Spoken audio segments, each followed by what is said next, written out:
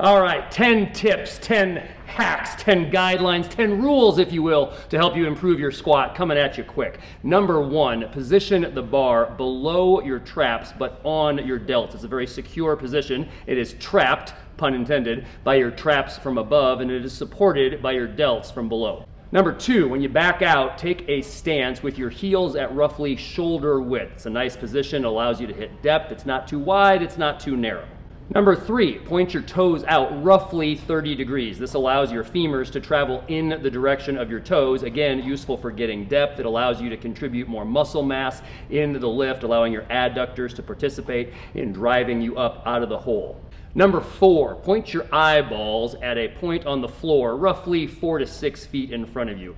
It helps you with your back angle. It helps you lean over as you start the movement, which means it's gonna help you drive your hips up out of the hole, and you have the advantage of not looking like you've been coached by a 1990s high school football coach.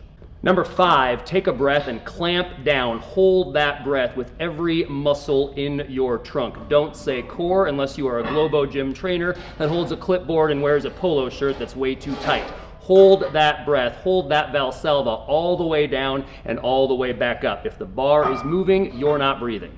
Number six, reach back with your hips as you start the movement. You're gonna reach back with your hips because, number seven, you're gonna point your chest at the floor. While you're pointing your chest at the floor as you're starting that descent, number eight, shove your knees out. That is to say forward and out, but in other words, in the direction of your toes. Number nine, when you hit the bottom of your squat, drive your hips up. Don't think about driving your chest up, drive your hips up. And because your back has been locked in rigid extension, the chest and the bar is gonna come up as well.